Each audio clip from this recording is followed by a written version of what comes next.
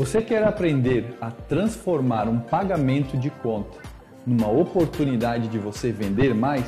Então fica ligado neste vídeo.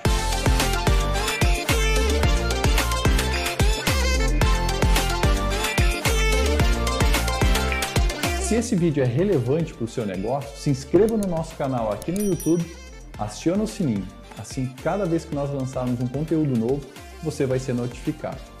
Você está cansado de saber nos nossos vídeos aqui no YouTube que ter o cliente na loja, né, por conta da compra no crediário, é um grande facilitador de vendas futuras.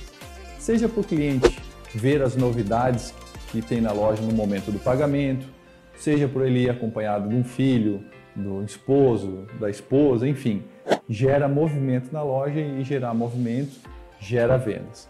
Então gera mais conversão. Então isso você já sabe. Agora, o que você precisa entender é como encantar esse cliente.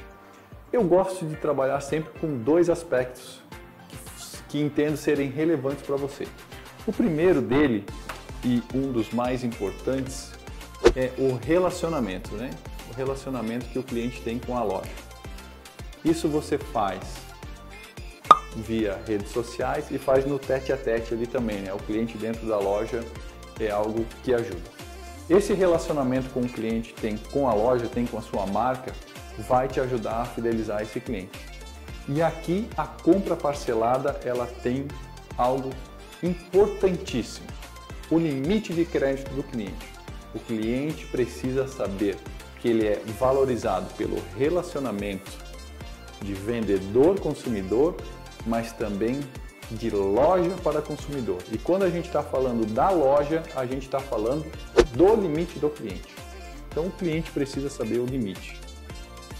Eu já ouvi de alguns lojistas falarem aqui para a gente o seguinte: olha, tem cliente na minha loja que enquanto ele não vê bater o, o teto do limite, ele não para de comprar. Por quê? Porque a loja comunica muita, muito bem essa questão do limite.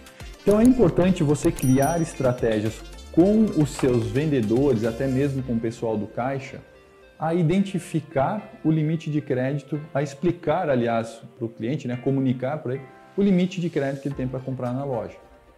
Você pode fazer isso no momento de uma compra e também no momento do vencimento da parcela, né? o dia que o cliente foi lá pagar a parcela. Olha, fulano, você pagou a tua parcelinha aqui, ó, você já tem um limite de 350 reais liberado aqui com a gente. Você quer comprar alguma coisinha, quer dar uma olhadinha na, nas novidades que tem na loja e tudo mais, né? O Hermelino Espíndola fala muito sobre isso nos vídeos dele. E vale a pena vocês criarem esse tipo de rotina dentro da operação da loja de vocês. E nunca esqueçam, o momento de pagamento é um momento de alegria para você e para o consumidor. E um ótimo momento para você ensaiar com seus vendedores e com os clientes novas vendas. Um grande abraço boas vendas e até a próxima.